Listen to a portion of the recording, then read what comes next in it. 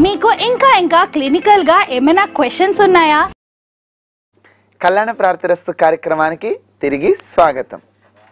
గురుగారు జాతకంలో దోషాలు ఏర్పడతాయి అని చెప్పేసి చాలా వరకు చెప్తూ ఉంటారు. అంటే దోషాలు అంటే ఎందుకు ఏర్పడుతూ ఉంటాయి అవి? మనకి పూర్వజన్మలో చేసినటువంటి పాపపుణ్యాలు ఏవైతే ఉన్నాయో అవి ఈ జన్మలో కుండలుగా ఏర్పడుతుంటాయి. ఆ కుండలలో మనము గత జన్మలో పుణ్యం చేసి ఉంటే గ్రహాలన్నీ కూడాను ఈ జన్మలో అనుకూలంగా ఉంటాయి. పాపము చేసి ఉంటే మనకు అనుకూలంగా ఉండే గ్రహాన్ని చెడు గ్రహం చూడటము లేదు అది వ్యయ స్థానాల్లో లేదా నష్ట స్థానాల్లోకి రావడము ఇటువంటివన్నీ కూడాను జరుగుతూ ఉంటాయి.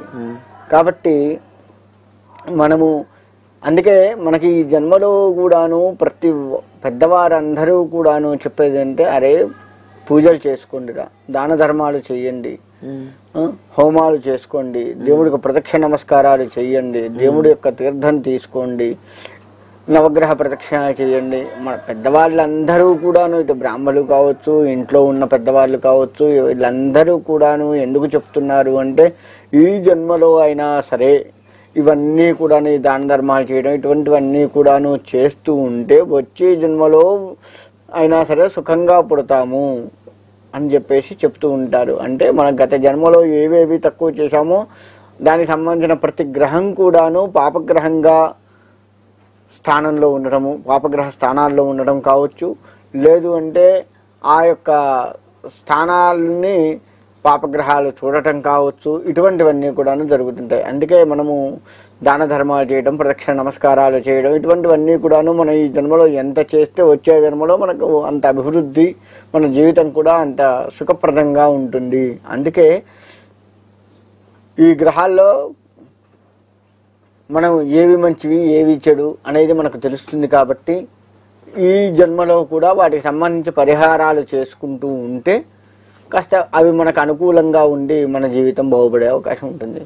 అంటే మనం గత జన్మలో చేసినటువంటి పాపపుణ్యాలు ఏవైతే ఉన్నాయో ఈ జన్మలో కుండలిగా ఏర్పడుతూ ఉన్నాయని మనం ఇందా చెప్పుకున్నట్లుగా ఏ జన్మలో అయినా అలానే జరుగుతూ ఉంటుంది. ఇక అందుకే మనకు ఏంటంటే ఎక్కువగా పూజలు చేస్తూ ఉండడం వల్ల జన్మరాహిత్యాన్ని పొందుతూ ఉంటాము.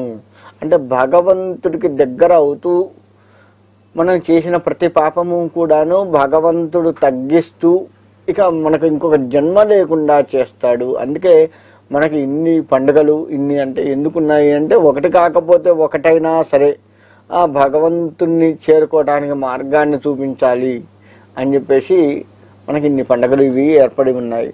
ఏ ఒక్క దేవతని మనం పట్టుకున్నా కానీ తరించిపోతాం.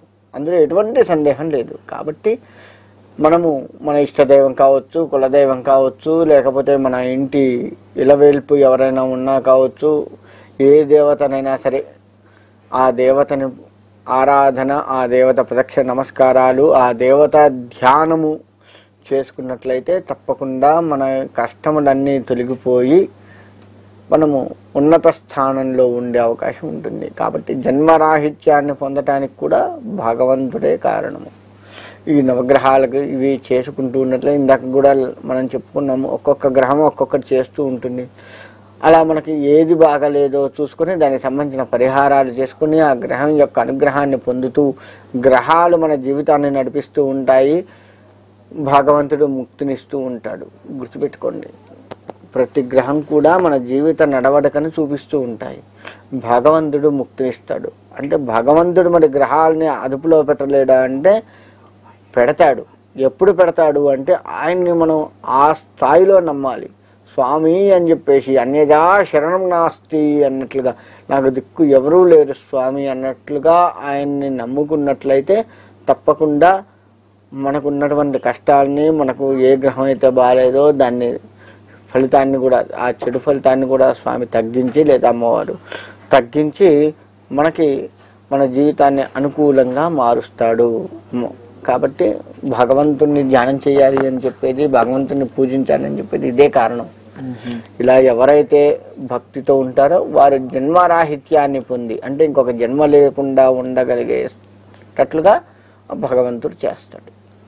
చక్కని వివరణ